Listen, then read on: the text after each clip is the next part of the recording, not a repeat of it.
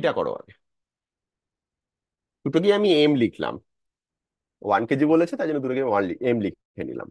Free body diagram আঁকা যাক ফটাফট। প্রথমে ওপরের এমটা উইথ রেসপেক্ট টু গ্রাউন্ড বা গ্রাউন্ড বা টেবিল টপ আর কি। ভার্টিক্যাল ইকুয়েশনটা আমাকে কিছু দেবে না, তাই জাস্ট হরাইজন্টাল ইকুয়েশনটা লিখব।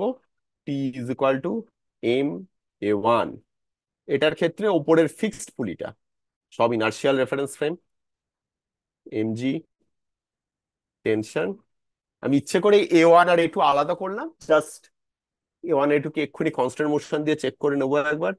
লিখতে পারি? MG minus T is equal to M A two এবার এ ওয়ান আর এ টুর মধ্যে রিলেশন কি? এই লেন্থটাকে ধরলাম এক্স এই লেন্থটাকে ধরলাম ওয়াই আর এই লেন্থটা কনস্ট্যান্ট তাহলে X plus Y plus K is equal to L আমি যদি দুবার, একবার ডিফারেন্সিয়েট করি X dot plus Y dot equals to zero আরেকবার করলে X double dot plus Y double dot equals to zero এখান থেকে ক্লিয়ারলি বোঝা যাচ্ছে এক্স ডবল ডট কি?